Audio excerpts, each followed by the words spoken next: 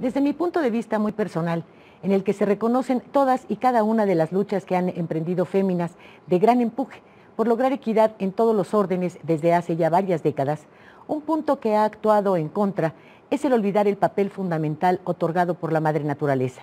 el que también nos brindó la sociedad para ser uno de los dos pilares que deben sostener a las familias. Lo anterior tal vez explique por qué este caminar es el que de dos pasos para adelante y uno para atrás se significa. Desde la llegada de la primera gobernadora, la maestra Griselda Álvarez a Colima, prácticamente en todos los exenios ya se tenía una presencia femenina en el máximo poder estatal. Sin embargo, en la actualidad no hay una sola y no está muy claro si se tendrá en el futuro inmediato.